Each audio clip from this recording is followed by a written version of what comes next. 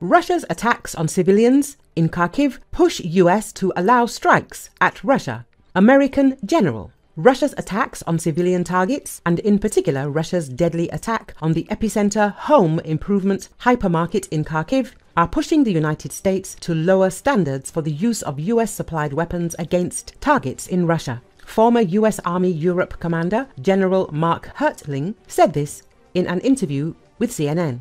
Hertling said while commenting on the Russian attack on the epicenter hypermarket that in view of Russia's attacks on civilians, we are probably going to see a lowering of the standards for using that military equipment on specific Russian targets.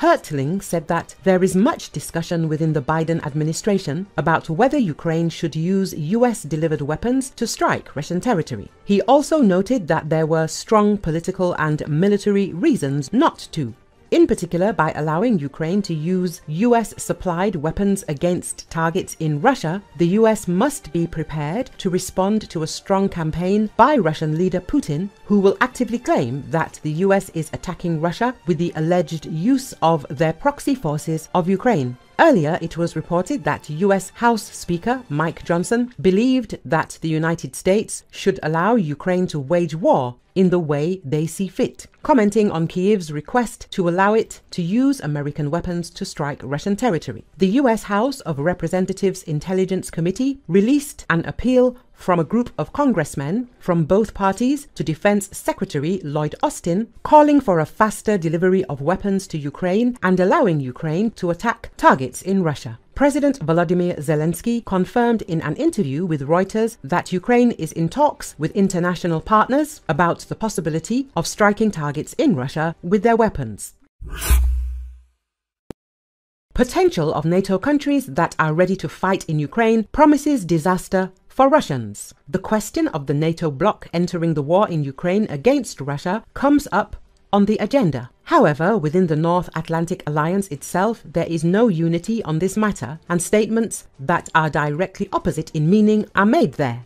The direct deployment of NATO contingents in Ukraine has become quite possible. Great Britain was the first to publicly voice a proposal to send a NATO expeditionary force to Ukraine. Soon after this, London skipped ahead of Paris, where President Macron repeatedly made statements about the possibility of sending French troops to help Kiev, transparently hinting at the nuclear status of the Fifth Republic. A few days ago, Hungarian Prime Minister Viktor Orban said that the North Atlantic Alliance was working on scenarios for the bloc's entry into war. Now, at the NATO Centre in Brussels, there is a financial commission, a training commission, of course, I don't want to reveal the details, but the NATO Secretary General has already said all this. Working groups are working to determine how NATO could take part in this war, he said. One gets the strong impression that the fundamental decision on Europe's entry into the war with Russia on the territory of independence has already been made, but not the entire NATO bloc as a whole is preparing to fight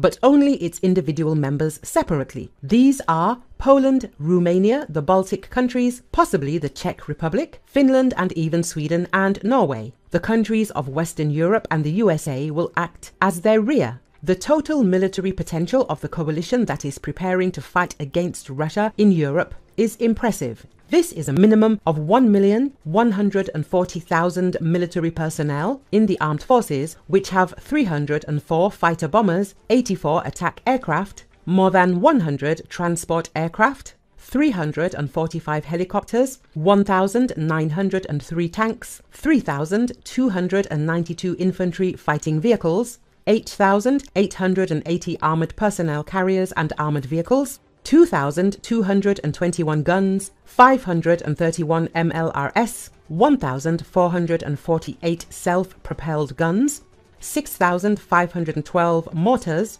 447 air defense systems, 1,468 anti-aircraft gun systems and many other NATO-style weapons. It should also be taken into account that military operations can take place not only on the territory of Ukraine, but also in the Baltic region if a second front opens there, forcing the Russian General Staff to stretch its forces.